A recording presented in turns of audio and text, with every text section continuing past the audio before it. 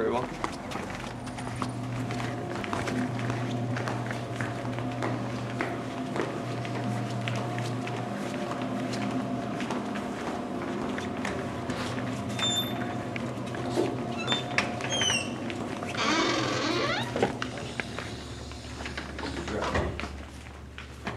So they did change it. Yeah, three eleven. I thought they modified it. Hello. Yes, uh, I'm looking to uh, submit this uh, concealed carry application. I just had one question about one of the lines, and I don't know if uh, you're the right person to address the question to, but I'll give it a I'll shot. answer it if I can. Okay, it says uh, permit number. It doesn't, it doesn't apply, Okay, and uh, driver's license number. I don't drive. so you don't have a driver's license. I have a driver's license from PA when I did have a car, but right now I don't have a car. I don't drive, so I don't know if it's If, if you don't want to submit it, I mean, that's not mandatory information. wonderful. All right, that was my only question, and uh, so if you could just do me the favor of looking it over, making Yeah, make we always sure. Look them over. I appreciate that. Thank you.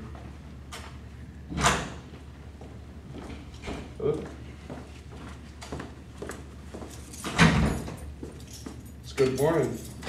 It looks fine, Derrick, Yes. right, it takes about fourteen days. Okay. They do not call you. So we give these cards out, we ask you to call in, follow up on it, give it fourteen days, because investigation says it's not up.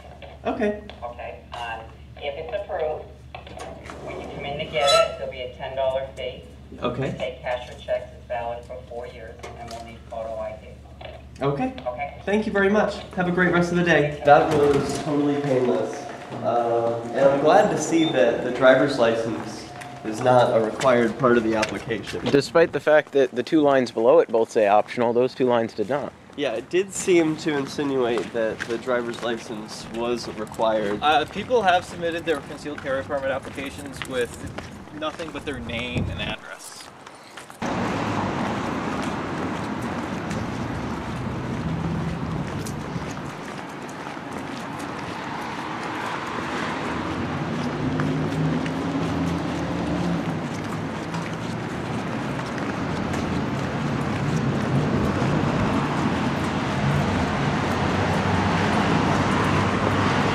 Hold on, hold on, hold on. Let's wait for her. This one's at zero.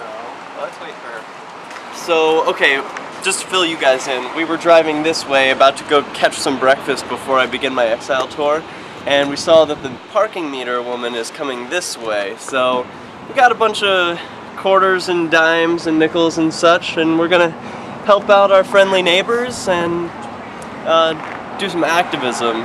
So, I think it's gonna be pretty fun. Yeah. Yeah, how, how many can we find before uh, before it gets to that point? Okay, so uh, I guess when she starts coming over this way, I'll just show her that. So there's two we could potentially save. Yeah, the, the goal here is that if this person were to uh, be written a ticket, they would have to pay like five to fifteen bucks, something somewhere between there. But with just the cost of a dime, I get to save my neighbor from having to pay five to fifteen bucks to the state. Well, here's what I'm gonna do. I'm gonna take this uh, this dime, I'm gonna just pop that in, so that person now has 12 minutes. That's pretty good. What's? Here, another one. You get it. Alright.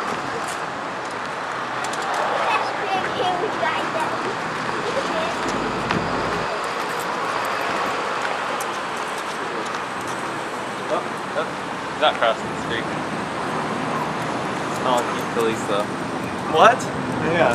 She's calling the police? Right now. That's what they do. That's what they're trained to do Alright. now, I think.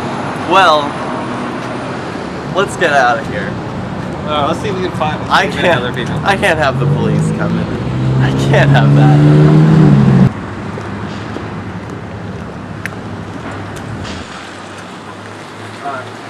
Let's go.